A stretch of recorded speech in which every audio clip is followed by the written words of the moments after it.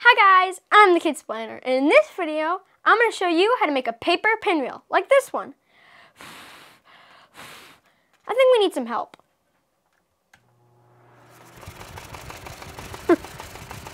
so what we're going to need is a coin, a thumbtack, a bottle of something to hold a piece in place, scissors, glue, a straw, two pieces of construction paper, one for the pinwheel and one for cutting out a little circle. This piece of paper is too big, so we're to cut it in half. So, we're to fold it like this in half and make a crease. We're to unfold this piece of paper and we're to cut it on that crease. So we're to put one piece aside. So now we have to make this into a square. So how we do that is we fold this along the edge of the bottom and make it into a triangle type shape right there. And we make the crease and we cut off the excess. And we put the excess aside. When you unfold it, you see that it's a perfect square and that there's a crease running down the middle. So you need to also make one right here. So you have to fold it in the other direction. And make a crease. And now when you open it, you can see that you have your two creases.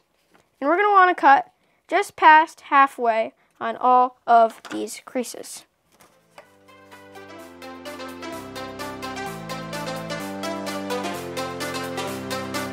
So now that we have our square and now that we have our cuts, we're going to put a dab of glue on one side of each piece. Right there. We're going to spin and put it on this side. Spin again. And keep putting it on only that side. And there you have our four dots of glue. So now we got to curl our corner pieces just past halfway towards the middle. And we're going to keep doing that. Okay, so you want to grab the little tip, curl it in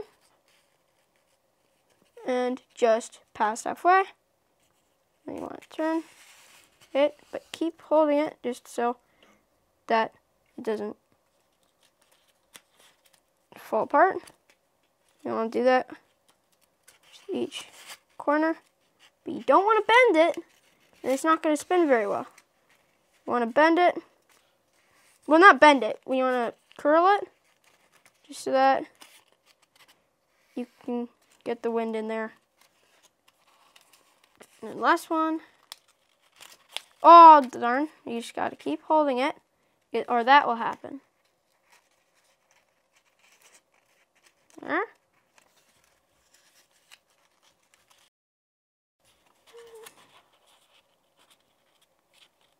And if you bend it a little bit like I did here, you can push it in like just a little bit, not too hard.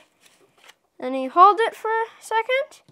Then you want to grab your bottle and switch it out quickly with the middle piece and so that it will dry in the position you want it.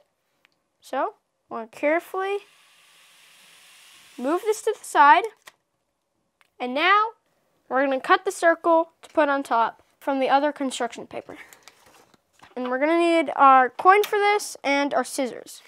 So I like to cut out just a little square so it's easier to flip and turn around while cutting your circle. You're going to put your coin and you're going to do the outline of that coin. There, you have your circle. Put the coin aside and then you're going to cut out that circle with your scissors. You want to put some glue on the end, on the top, I mean, of your yellow square. I mean, yellow circle. and you get it, fingertips, you switch it with your bottle and then place it back on. We want to let this dry you want to let it dry for a couple hours. And we have one that's already dry. This one right here with our yellow circle. So what we want to do is we want to get our straw and one thumbtack. I'm going to use the back of a notepad and you're going to put it on top just so you don't poke into your table. If you need someone older or a parent to do this for you, that's okay. So you want to put your pin in the center and push down. And pick it up a little bit and poke it through. A little bit hard. There you go, you got your thing. You want to wiggle it around just so that it'll spin a little bit better when you are blowing on it. You want to get your straw. You want to poke your thumbtack into the straw all the way to the, the other side like that. You want to have a little bit of space between the straw and your pinwheel just so that it can spin correctly. So now you got your pinwheel. Make sure that you don't, if you're using a bending straw, use the bendy part on the bottom just so that your top of the pinwheel doesn't bend around. And you can make your pinwheel stronger if you have one chopstick and you can put it into your pinwheel. And now it's a little bit longer and if you want you could stick it in your garden or something like that. And there you have it. You got your pinwheel. I hope you liked making the pinwheel with me. I know you're going to have a lot of fun with it. If you like this video, hit the like button and subscribe if you haven't already. I'm the Kidsplainer, and I'll see you next time. Bye!